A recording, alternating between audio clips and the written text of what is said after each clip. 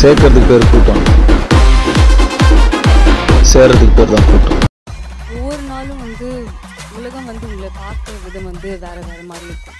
இன்னைக்கு வந்து சில பேருக்கு உங்களை பிடிக்கும். நாளைக்கு சில பேருக்கு உங்களை பிடிக்காது. மற்றவங்க நம்மளை பற்றி எப்படி எப்படி யோசிக்கிறாங்க நம்மளை எப்படி பார்க்குறாங்கன்னு வந்து நம்ம யோசிச்சுட்டே இருந்தோம்னா நம்மளால வந்து ஒரு வாழ்க்கை வந்து கரெக்டாக வாழ முடியாது. அண்ட் அப்படி இருக்கும் கூடாதுன்னு நான் நினைக்கிறேன்.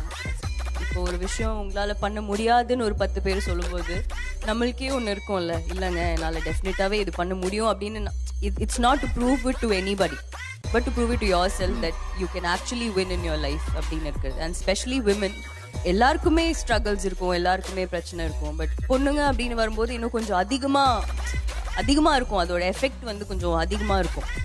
எப்போவுமே நீங்கள் வந்து ரொம்ப ஸ்ட்ராங்காக ஒரு விஷயத்தில் நீங்கள் பிலீவ் பண்ணீங்கன்னு வச்சுக்கோங்களேன். இதை என்னால் பண்ண முடியும் அப்படின்னு நீங்கள் ஸ்ட்ராங்காக பிலீவ் பண்ணீங்க ஹோல் ஹார்ட்டடாக பிலீவ் பண்ணீங்கன்னா you can definitely do it அது என் லைஃப்பில் நான் பார்த்துருக்கேன்.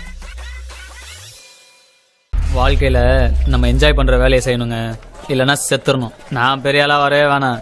ஆனால் வாழ்க்கை ஃபுல்லாக சந்தோஷமாக இந்த வேலையை நான் செஞ்சுக்கிட்டே இருப்பேன்.